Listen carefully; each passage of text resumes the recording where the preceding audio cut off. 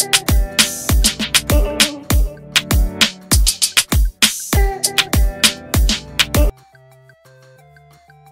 ็กซี่ไม่มีแผ่ว ชัปปุยส์ ต้องคอมเมนต์หลังเห็นเลน่าภรรยาสาวอวดหุ่นแซ่บภาพ ถือเป็นคู่รักคนดังที่แฟนๆ ให้ความสนใจสำหรับ เลน่าเฮเลน่าคณิษฐาบุชภรรยาคนสวยของชาริล ชัปปุยส์ดาวเตะสุดหล่อลูกครึ่งไทยสวิส สังกัด การท่าเรือเอฟซีที่จูงมือเข้าสู่พิธีวิวาห์ไปเมื่อปีที่ผ่านมา ล่าสุดสาวสวยลูกครึ่งไทยสวีเดนวัย 27 ปีทำเอาโซเชียลเดือดอีกแล้วกับการอวดหุ่นสุดแซ่บในชุดบิกินี่เล่นน้ำกับทริปพักผ่อนที่อ็องตีบ เมืองเมืองเล็กๆ ทางตอนใต้ของประเทศฝรั่งเศสก่อนโพสต์ภาพลงในอินสตาแกรมงานนี้ทำเอาแข้งดังแฟนหนุ่มถึงกับเข้ามาคอมเมนต์ว่า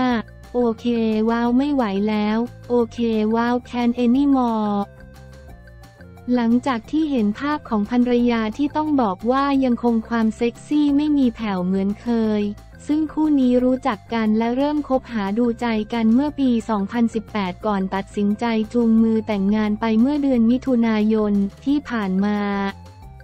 ซึ่งต้องบอกว่ามีแฟนคลับมากมายทีเดียวด้วยดีกรีความดังของทั้งคู่ทำให้ได้รับการจับตามองเป็นพิเศษสำหรับเฮเลนาคณิษฐาบุตรสาวสวยลูกครึ่งไทยสวีเดน มีตำแหน่งเป็นถึงรองอันดับ2 Miss Thailand World 2018 ก่อนก้าวเข้าสู่วงการนางแบบมีทั้งการเดินแบบถ่ายแบบและงานโฆษณา ขณะที่ชาริวชับปุยอดีตแข้งทีมชาติไทยวัย 31 ปีถือเป็นนักเตะซุปตาในวงการลูกหนังบ้านเรา ด้วยความหล่อบวกด้วยฝีเท้าที่ไม่ธรรมดาทำให้มีแฟนคลับชื่นชอบเป็นอย่างมาก ซึ่งปัจจุบันค้าแข้งอยู่กับการท่าเรือ FC สโมสรในศึกไทยลีก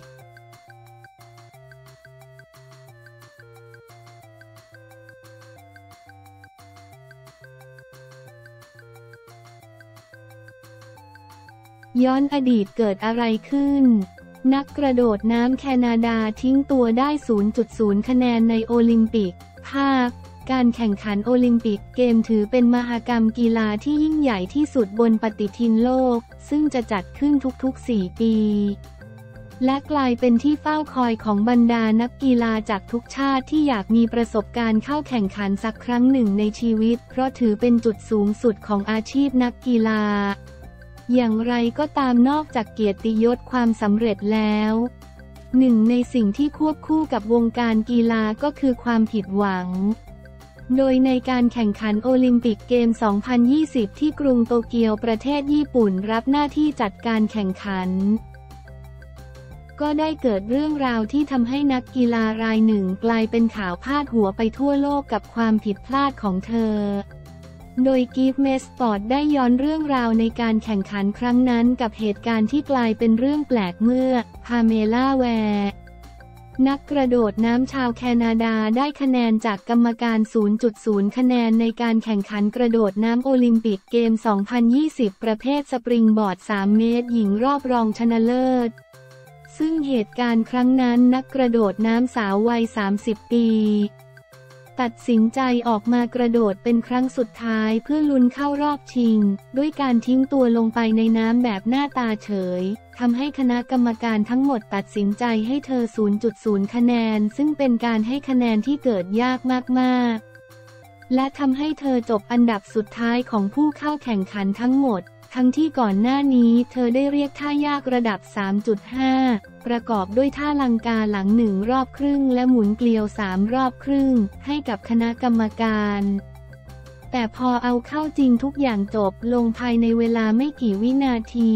หลายสิ่งที่คุณเห็นในการแข่งขันเป็นเพียงปัจจัยเล็กน้อย ก่อนแข่งฉันพร้อมมากสำหรับการแข่งขันครั้งนั้น และฉันกลับทำมันพลาดไปมันอาจเกิดขึ้นกับใครก็ได้ แต่หนนี้มันเกิดขึ้นกับฉันผิดเวลา ฉันจะไม่ปล่อยให้มันมาทำลายความเป็นตัวตนของฉัน ฉันขอบอกว่าฉันภูมิใจในตัวเองมาก การแข่งขันครั้งนั้นไม่ได้ทำให้ฉันพ่ายแพ้ แต่มันกลับทำให้ฉันแข็งแกร่งขึ้นอีกสิบเท่า พาเมล่าแวร์เปิดใจถึงเรื่องราวในอดีตที่ผ่านมาสำหรับพาเมล่าแวร์นักกระโดดน้ำชาวแคนาดาเพิ่งจะคว้าเหรียญทองแดงประเภทสปริงบอร์ด 3 เมตร หญิงในการแข่งขันชิงแชมป์โลก 2023 ที่ประเทศญี่ปุ่น ถือเป็นการลบฝันร้ายในอดีตของเธอ และเป้าหมายของเธอต่อจากนี้คือการคว้าสิทธิ์เข้าร่วมกีฬาโอลิมปิกเกม 2024 ที่กรุงปารีสประเทศฝรั่งเศสเพื่อกลับไปแก้ตัว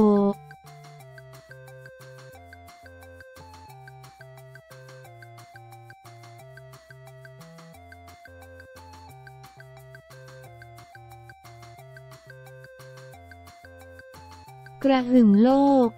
สาวไทยยู19แซงดับจีนระทึก 3-2 ทะลุรอบ 8 ทีมศึกชิงแชมป์โลก การแข่งขันวอลเลย์บอลยุวชนหญิงอายุต่ำกว่า 19 ปี ชิงแชมป์โลก 2023 ณ สนามพิกอารีนาเมืองเซเกต ประเทศฮังการี วันที่ 7 สิงหาคม 2566 รอบ 16 ทีมสุดท้ายทีมชาติไทยพบทีมชาติจีน รายชื่อ 6 คนแรกของทีมชาติไทยได้แก่กนกพรแสงทอง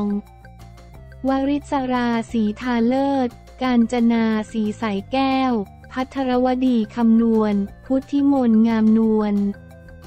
ทันพรสีโซ่ตัวรับอิสระ กัญญรัตน์คำวง และนัทมนเหลืองวัฒนวิไลผลการแข่งขันปรากฏว่าสาวไทยพ่ายไปก่อน 2 เซตแรก แต่กลับมาเอาชนะไปได้ใน 2 เซตที่เหลือจนต้องตัดสินด้วยเซตสุดท้ายซึ่งไทยสามารถเอาชนะไปได้แบบสุดระทึก 15-12 ทำให้ไทยชนะไปได้แบบสุดเดือด 3-2 เซต 31-33